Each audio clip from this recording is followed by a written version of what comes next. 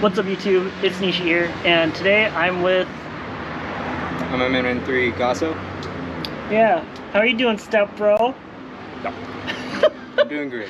But so my stepbrother's actually in the Navy as well and he's a nuke. So I was gonna interview him um, and we'll be talking about different nukes and just general stuff about it. So um, what is your rate exactly? So I'm a machinist mate nuclear. That's MMN. That's that part. Okay. Uh, there's three other rates that you could be as a nuke. It's uh, ETN and EMN.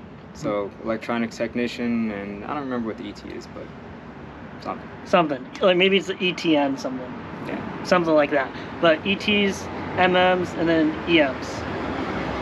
Um, okay, so what does your job entail? So it's really just a lot of log taking. It's like you think you're going to be doing a lot, but it's majority you're just taking logs. You're roving your spaces as a mechanic at least. You rove your spaces and take logs. It's as far as I've seen it. um, what is the duration of your schooling? Because everyone's like, oh yeah, you're gonna be there forever. Yeah. So uh, my school was a year and a half, just because. Uh, well, as a mechanic, you only have a three month A school, then you have a six month power school, a six month prototype. Mhm. and uh, yeah, so that ended up taking about a year and a half with the time in between, whatever, just in your while you're in hold. Holding, yeah. Um, so the other nukes, what is? Do you know how long their A school is? Because I know you don't know too much about it. Yeah, so the uh, EMs and ETs they have a six month A school instead of a three month A school, Okay. so that brings their thing, especially with the hold, up to about two years. Two years. Okay.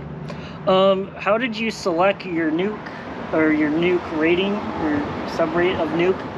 So we don't actually get to select that. It's more like uh, you get a wish list Mhm. and you put down all of your the rates that you want in order of what you want, and they give you whatever they need, needs of the Navy. Okay. I'm just saying, I did put mechanic as my last choice. Is your last choice? Okay. I am happy with it though. That's good. Um, uh, what is your advice on people wanting to join your rate as a nuke? It's not too bad. I mean, a lot of people they'll say a lot of bad things about it. Mhm. It's it's a tough school. It is. Mhm. Uh, you don't get a lot of time off. You're first one's on the ship, last one's to leave. You got to stay extra a lot of the time. You have a lot of downsides, but you also get higher pay. You have you accumulate a lot of leave because you don't get to use it. You can't leave. You can't leave. Yeah. Uh, bonuses are great too, Mhm. but really, like for me, it's the, the whole actual uh, the qualifications that you gather from all the schooling. It gets you college credits. I'm not really too sure how many I have as of the moment, but you do get a lot. Okay. Um, what was it? I'm having a brain fart. Oh my goodness.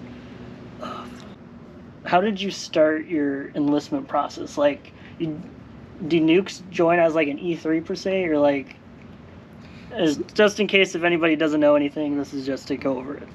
So you mean like as in? As when you're just joining, joining the Navy and like signing everything. Like, Okay, so uh, when I went to my recruiter, I went to him knowing that I wanted to be a nuke. So he already had all the paperwork signed up and everything. He told me I was gonna start off as an E3, and yeah, you go up, you go throughout boot camp as you're technically still an E1, but you're getting paid as an E3. So you get more money in boot camp, and then when you get out, you actually put on E3. So you get to Mm. put the uh, the three stripes on. yeah, the three stripes. Um, when did you pick up E4? Because that's automatic, as of for now at least. Yeah. So uh, as nukes, you automatically pick up E4 as soon as you're done with uh, your A school. Okay. So, right at graduation, we had a little, uh, I guess, frocking ceremony in our classroom, but it's pretty cool. Okay. Um, and you said that there's some general education classes that you took during your uh, A school, correct? Not necessarily A school. As in, like, just things that all the rates. have Yeah, all the rates have to do. All nuke specific have to do. Yeah, so it's like, uh, well, you learn about your basic, like, math, math courses, physics, stuff like that, but each rate they specify into, like, their own stuff, so. Mm. uh, as mechanics, you learn more about valves and different tools in A school.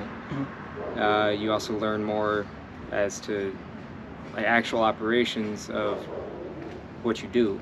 As ETs and EMs, you learn I don't know. EMs would probably learn more about electricity than us because we Mm. don't need to know that. Um, are there anything you should avoid while being a nuke? Or at least in A school or anything in general? Just don't get caught doing stupid things. okay. Um, do you have any funny stories? From at least one funny story, at least for now. uh, it's not necessarily a funny story, but the first thing that comes to mind is a really messed up thing that happened. Okay. So one of my buddies, he had a uh, seizure in A school, and um, he got a paper saying that he was denuked. Or not denuked. He said he was de- uh, disqualified from sub duty. So they he wasn't sub called anymore. They let him go through the whole school, and then Mhm. finally, right before his final board, during uh, right like a couple days before his final board and prototype, they told him, hey, you weren't actually just sub disqualified. You were actually nuke disqualified. So he was disqualified for being a nuke all the way in A school, and he went through the entire pipeline not knowing. That got- he got Yeah, he got denuked Wow. at the very end. okay. Then he had to pay back his bonus and all that too. So really back him. That's that sucks. Yeah. So, as a nuke, um, you're treated differently uh, compared to other people during A school, correct? In a sense. Kind of. Um, what was the living arrangements that you had during A school and all that, or nuke school? So during our A school and power school, they were at the same command. We had uh, barracks that we were assigned. You'd live on base. You'd wake up in the morning, walk to the the Rickover, which was the place that we studied. You walk there, walk back at the end of the day. That was that was your your trip. You did that for both A school, then the six month power school, which was for everyone. Hmm. And uh, when you graduated from power school, you went to prototype, and prototype was a separate command altogether, where they didn't have barracks for us, so they gave us uh, BAH to allow us to live off base. Okay. So me and a couple roommates, we got our own house. We rented a four bedroom, and we're just living off base. It was, it was nice. It's the thing that everyone looks forward to. yeah. Yeah. Um,